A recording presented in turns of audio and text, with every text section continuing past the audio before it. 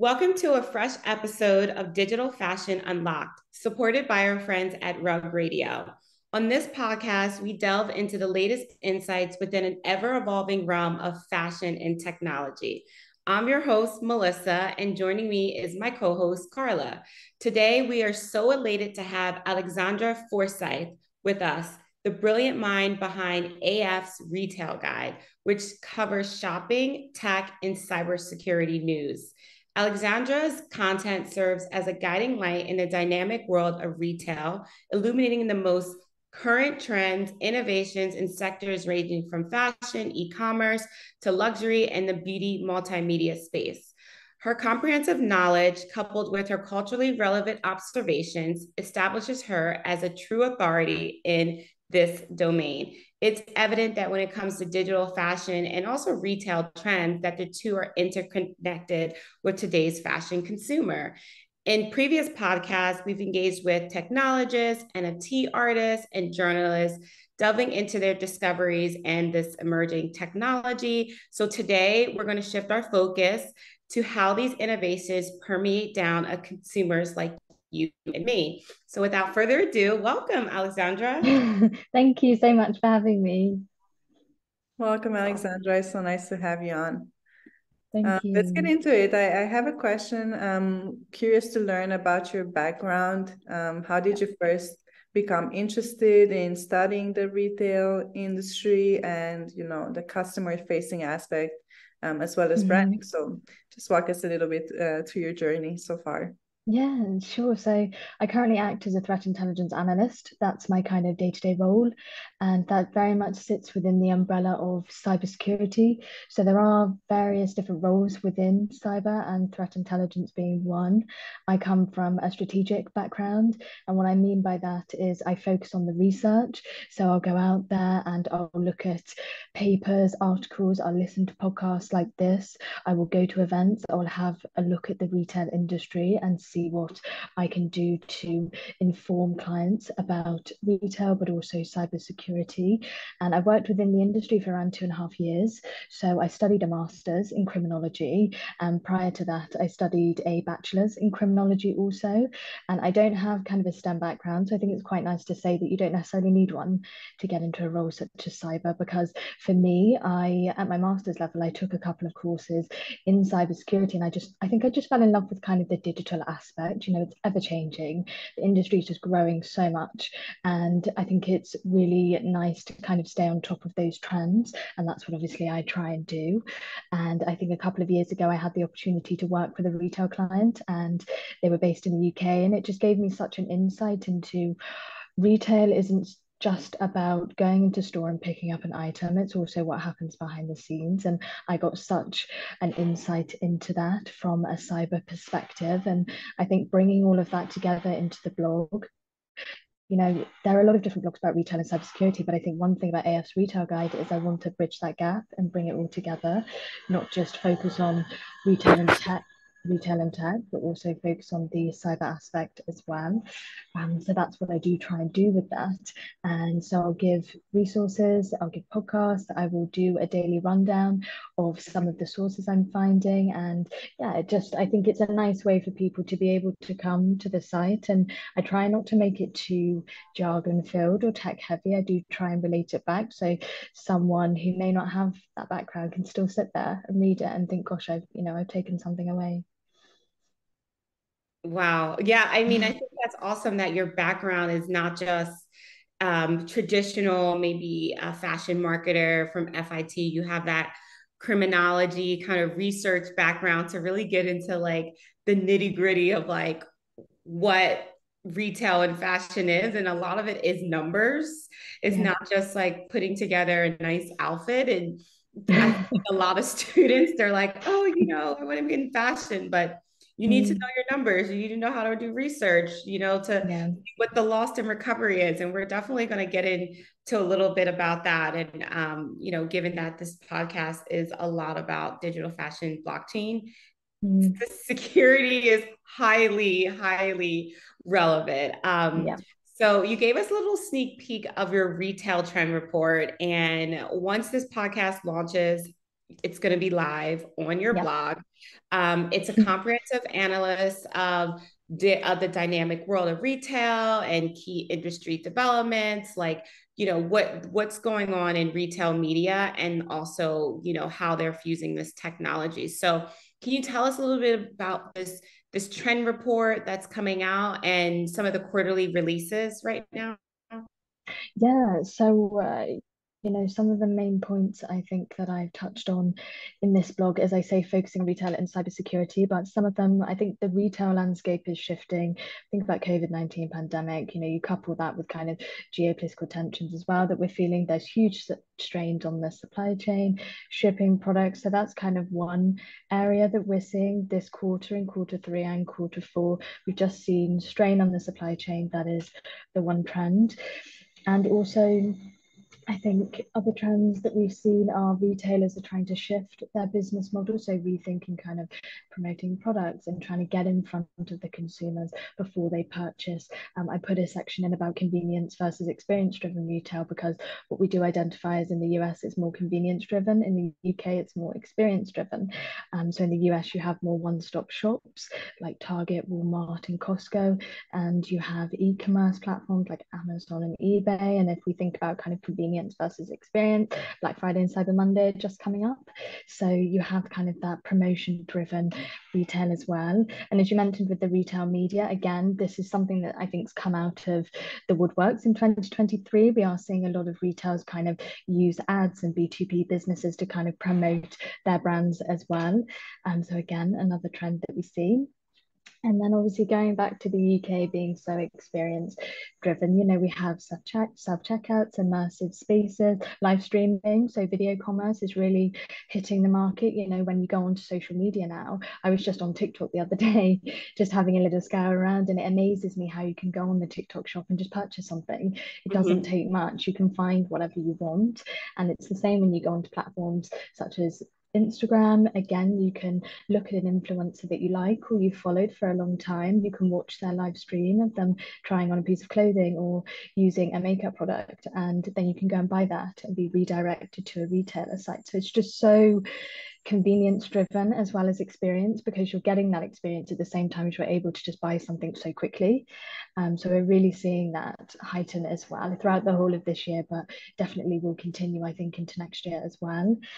Um, and then some of the other trends I think with the experience. So if you are, if anybody's listening in based in London, I attended the Gucci Cosmos exhibit a couple of weeks ago, and they've put on this exhibition and it's heavily digitalized. It's completely immersive. You get to see kind of their 102 year history through their iconic bags, luggage, and clothes. And it's just experiences like that you know they prey on the emotion.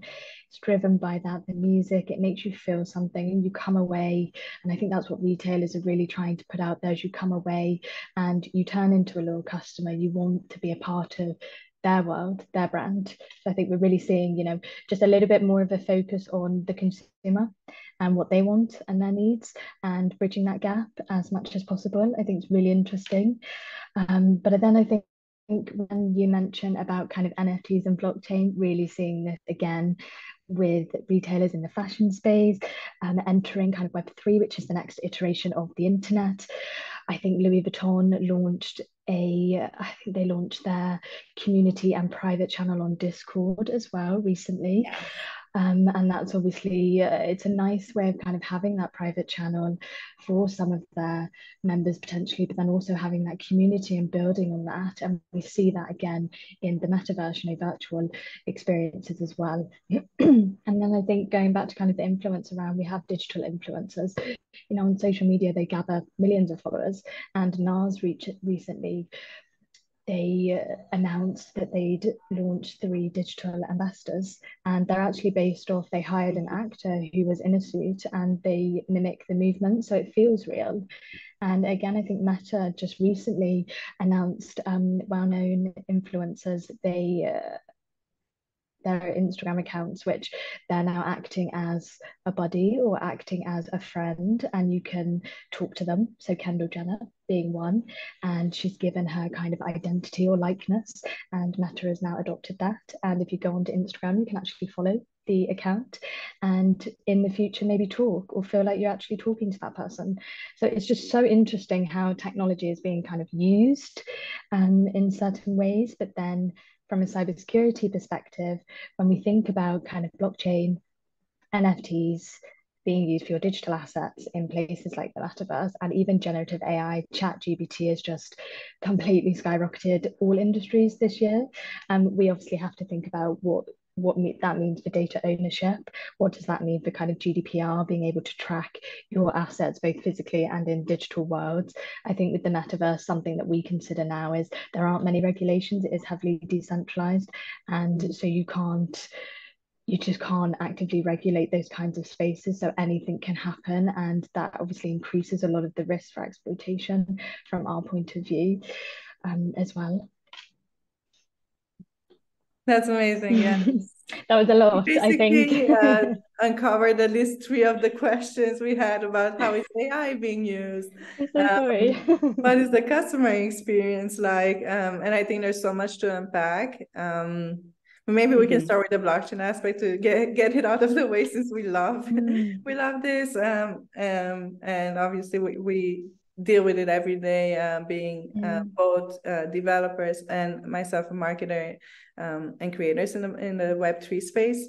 Um, so yeah, mm-hmm. I think you t- touched upon digital ownership, um, also bringing back to that AI personas, right, on Instagram, kind of blurring that line between what's real, what's like owned by a real person versus like what's AI generated. It's starting to be really hard. Like I've seen those um, AI Kylie Jenners, you know, even like models. Um, brands will hire models to um, model their clothes, but it will be like an AI generated model that just like walks the runway or just takes Instagram selfies.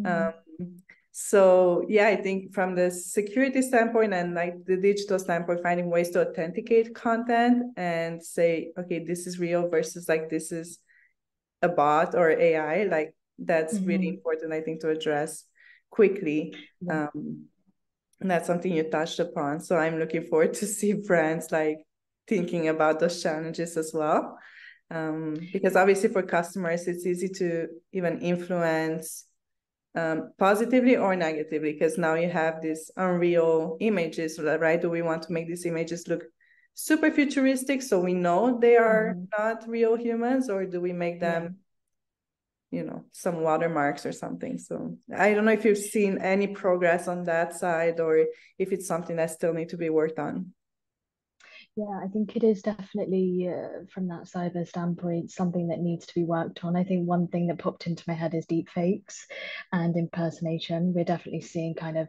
a trend, and that is skyrocketing as well, um, increasing. Not so much in the retail space, but there was one example where it was to do with education, and I think ahead of kind of back to school trends. It was something that I covered in one of my other blogs when I looked at retail and education, but impersonating children and their voices and actually calling the parents and you know kidnap scams and saying we've got your child.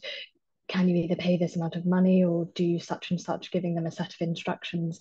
What's to say that wouldn't be used for retail calling somebody up and saying we've got access to your account. Please can you give me you know your authentication which could be say a one-time password which is sent to your mobile device to authenticate yourselves to get into your rewards account or just your standard account on a retailer side. What's to say somebody can impersonate a retailer or your bank and call up and say can you give this information? That is a way in. Once they've got that access able to get into your account. If you think about the data that you have inside your account you've got your name your email address potentially payment information your shipping your physical address, all of these different kind of credentials is what we call them, is something that kind of a bad actor or person, so to speak, would want because it helps them to then go on to maybe purchase on your behalf, um, which again means you lose out as the consumer. And also for a retailer, one thing that we like to look at is kind of reputation as well for the retailer because they will uh, want to help the customer get access back into their account or help them to stay loyal brand. But um, yeah, it's quite tricky, I think, to get that across. And also, I think to make customers quite wary, you know, make sure that you have the right kinds of protections on your account. So, as I always say, use a strong password.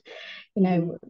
just kind of education, say this podcast, for example, just listening in, getting kind of my perspective, but there are like a host of cybersecurity resources out there. So I think it's just taking that step back and um yeah, just having a think.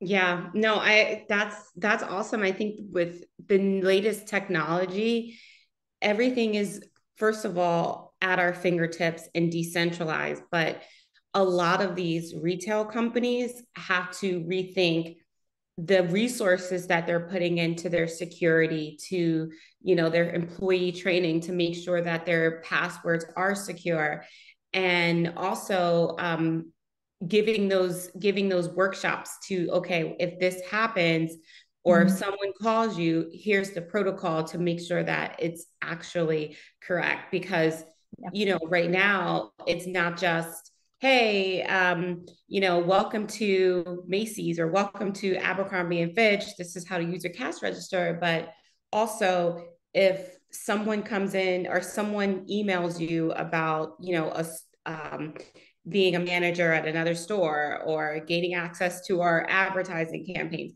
you know, these are the mm-hmm. steps and protocols that you need to take, making sure that it isn't like a deep fake and you know i think a lot of these retail companies they they don't have the budget for that yet but they're going to find out that they're they're going to need this budget because a lot of these scammers and you know that are using the latest technology um, it's easy to hack into the systems. And mm-hmm. uh, i think with blockchain technology um, we have um, our latest trend word is like zero knowledge proofs within identities. And you know that really just delves into who has access to these this these operations. And then not just access but like what are the back end steps to make sure that this is a verified source to get access to whatever information? And mm-hmm. although you know this zk knowledge like there's so many brands out there. There's polygon zk evms there's ethereum. There's so many. Um, we're still building it up but this is a perfect use case for you know utilizing these this technology within the blockchain space.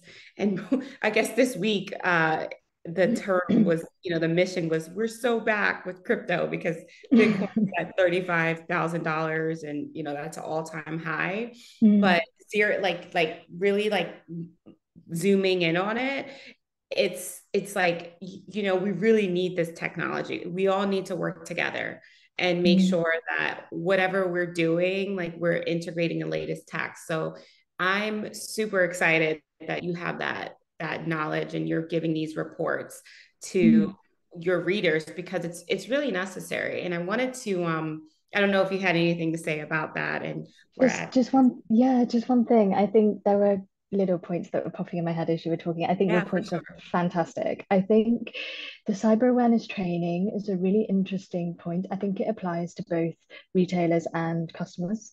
So I mm-hmm. think, as we said, customers to be able to protect their accounts, being aware that, you know, strong passwords, having your multi-factor authentication. So not just a strong password, but you can use biometrics now, and you could use a fingerprint or facial recognition for that, and the one-time password codes, and you can actually have an authenticator app on your phone or on right. your device to be able to log in. But also, I think from the retailer, as you mentioned, from that standpoint, and again, it applies to kind of fashion, beauty, and DIY, everything that falls within that umbrella, working out with blockchain, say what's on the back end. So, what softwares are you using? What do your suppliers and vendors look like? So, if you're going through third parties for anything to do with software and anything to do with kind of your sites or anything like that, just making sure that they're also protected and there's open transparency communication in place as well across kind of the supply chain, because that's another area that we look at. What does the supply chain look like? Um, so I think that's really important as well. That's awesome. Um, I, I love that. And I wanted to kind of double click on the Meta Google Ray Ban um, you know, they're all having these yeah. like yeah. um, and their supply chain, I feel like with Meta, Google, and Ray Ban, especially their big companies, they mm. they have a lot that's going for them. But now they have this omni-channel approach to to shopping. So they're using AR, they're using VR, I don't know what those implications mean. A lot of a lot of the modern day consumer or the consumers in general, they're like, whoa, there's so much technology that's going on. Like some people are even fearful. Um, can you just mm-hmm. give us a little, I guess, wax poetic on that, like this omni-channel approach to tech? Yeah, of course. I'm just, yeah. I'm just trying to find the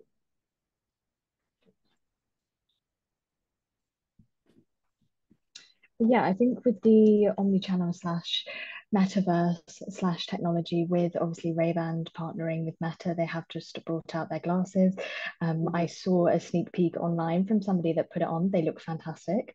They look exactly like Ray-Ban glasses. To be honest, you wouldn't really notice the difference. But I think within that, being able to kind of just heighten the visual for when you take a photo, when you take a video, it just completely enhances the experience. And I think also if we think about the Meta virtual reality as well. They've also brought out their headset, um, and I think although it's a little bit bulkier, um, I think it just yeah it just enhances the experience really um, as well. I wanted to dive into um, the part of the report that explores, you know, um, customer, uh, consumer sentiment trends in different countries. and I think you, you kind of analyzed um, the spending patterns in different regions of the world. For example, um, China versus, for example, UK or United States. I, am curious, um, what are some of the major differences that you've seen? Um, also in terms of uh, fashion and retail brands in the fashion world, like are there any differences as well? I think there is actually a similarity, which I identified recently, which I will include in the blog. But actually, again, it goes back to that kind of convenience versus experience driven retail. So we have seen a lot more consumers wanting to shop at discount stores and it goes off the back of kind of inflation cost of living wanting the promotions i think luxury fashion is still increasing in terms of sales we have seen a minor decline but i think it, you know, in terms of the luxury fashion space, it's still very alive and well. But a similarity we've seen actually across the board, I think US, UK, and China is even within China now, the consumers are thinking more how to save money and looking at kind of promotions and discounts, which we hadn't seen really throughout the whole of this year, but now we're seeing it. And I'm, you know, you could argue, is it because of kind of seasonal periods coming up to Christmas? People are thinking more about how much they're spending. And like I say, Black Friday and Cyber Monday are really good opportunities, especially in the UK. You know, throughout November, we see a lot of sales online through Amazon and eBay, and people really capitalize off that. They want that um, to feed you know, their desires and urges for what they want. They still want the same products. They still want to shop where they shop, but really thinking about how can they do that with a little bit of a budget. So I think that's really interesting. Yeah, that's definitely um, a bit of a shift. Um, what were we used to? I I think um, in the past we've seen a lot of luxury brands entering um, Asian market and really growing there versus um, now maybe we start seeing um, and even for example this black friday for example in canada used to not be a thing as much as in the us right and then over the years you, st- you start seeing it just as much in canada as in the us um, and then you start seeing it in other countries. So yeah i've definitely noticed that change myself. Where i was like oh this wasn't a thing like five years ago and now it's everywhere. Um, yeah. and other yeah. holidays like that we have like cyber mondays and uh, mm-hmm. every reason to have discounts it's a good reason.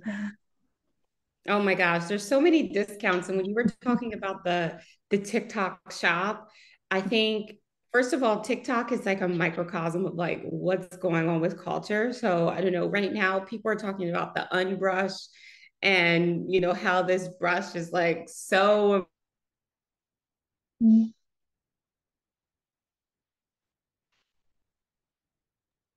think we lost Melissa for a bit. Let's for a sec. I had thought of something when she was talking there that I wanted to say as well. No, if, it's because like the retail space has managed to, you know, help or, you know, just captivate these audiences. So I don't don't know. I guess for my a, a question, I'm just interested. You said you work with a lot of clients. What are some of the problems that they come come to you with, and what are some, what's a framework, or what? How do you? What are some of your solutions that you can you give us a little example? I guess. Yeah, I think with retail, also just wanted to make one point. I think with the TikTok and what I find really very interesting is obviously I think most of people are aware of kind of Tube Girl right now. And I think if we look at kind of brands and how they've, you know, pulled Tube Girl in and kind of, you know, a lot of videos have gone viral. Again, social media, what we see is it only takes one post to do that or a couple of posts and completely shifts kind of how brands view, I think, us as well as consumers, kind of bringing us in as well on that journey. Um, but yeah, to go back onto your point about working with retail clients, I think there isn't a particular framework, and I know that's not a good answer, so to speak, but it very much isn't a one size fits all. You know, when I look at a retailer, I really want to understand, you know, what is their business? And I think that's, you know, business and cyber. So I tend to look at it quite holistically. As I mentioned at the beginning, when I look at a retailer, thinking politically, you know, with current shifts happening now, it affects the supply chain, it affects shipping and getting products to store. So that's kind of one, you know, scenario. And then also thinking economically with kind of inflation, cost of living for us from a cyber security perspective, could that link to more kind of insider threats, which are kind of disgruntled employees or they've been let go or there are problems within the retail organization that we need to keep on top of. And then we have technology and kind of environmental. So we look at all of those aspects. And I think one of what retailers want is again for us to look top down, understand the business, understand their workings. What does their kind of value chain look like from, say, gathering research about the products to then looking at how to build those products, getting them to store, um, different areas like that, and then also bringing in that cyber analysis. So, what are the key data points? Where can somebody come in and disrupt? The organization and stop them from operating potentially because it always goes back to the consumer. If the consumer doesn't get what they want and doesn't get their needs the retailer loses out and also the consumer loses out. So there just there just so many there's just so much room for improvement, but then there are so many elements to kind of a framework for retail, which I think is still being kind of defined as we go along. Um, and like I say, it's not a one size fits all. Every retail is different, every fashion brand is different, everybody wants different things. You know, one retailer might want me to focus on supply chain, and they might be really interested to know, you know, I want open communication, I want to know who my suppliers and vendors are, I want to know um, just different areas of their supply chain. And then others might want us to focus on their brand and, and might want us to focus on e-commerce and their social media and how can that be exploited um, and different ways that can happen as well. So it depends.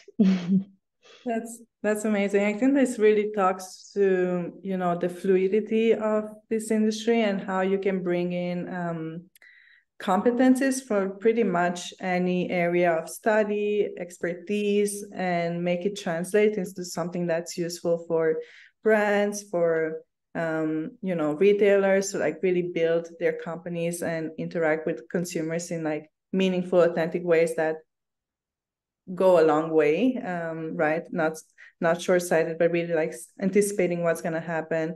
Um, so yeah. yeah, I think like even seeing your background as such, such from a, such a unexpected area to, to now being retail and fashion. Um, yeah. What would what would be your advice to you know people who are thinking to switch to working in digital fashion um, and maybe they haven't take that leap yet um, i think yeah, any advice for my, people starting? my biggest yeah my biggest advice i think always remain curious. I think be passionate about what you do.